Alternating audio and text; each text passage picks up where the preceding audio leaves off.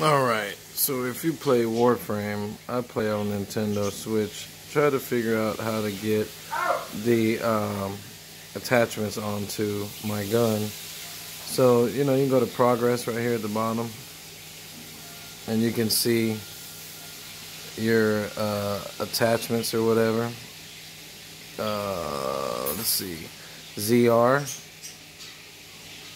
Just hit ZR and you can see all the attachments and stuff like that that you have. And then to put them on your gun you do play and then you can go to team deathmatch or whatever you pick. And when you're in the uh, when you're in the shooting range because a lot of people say to do it in game you can do it in the shooting range hit this button on the switch and it'll bring up your screen See all the different attachments and you just put whatever you want. When you're done, you just hit that again, it goes away, and there you go.